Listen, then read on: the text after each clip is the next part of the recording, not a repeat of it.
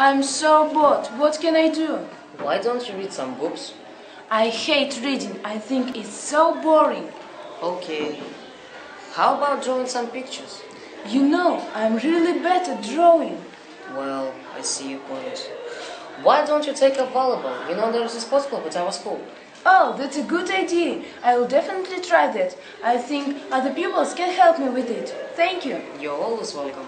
Tomorrow is my mother's birthday. Oh, that's great. But I don't know what to give to her. It's terrible, but I can help you. Firstly, why don't you make a birthday cake to her? Well, that's a good idea, but I'm really terrible at cooking. Uh, I'm really terrible at cooking too. And uh, okay, uh, how about giving her some flowers? Actually, they are very expensive, and I have no money. What's a pity? And why not you make a birthday card to her? Well, that's a wonderful idea. I'll try it. And can you help me? Yes, I can. Oh, that's great. Thank you. Not at all.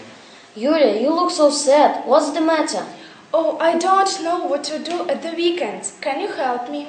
Yes, uh, why don't you go to the cinema? There is nothing interesting on. Okay then, and uh, how about spending a quiet evening at home? No, my young sisters are so noisy. Well, and uh, why not have why not have a picnic? I think that's a good idea. Can you join me? Yes, with great pleasure. Thank you.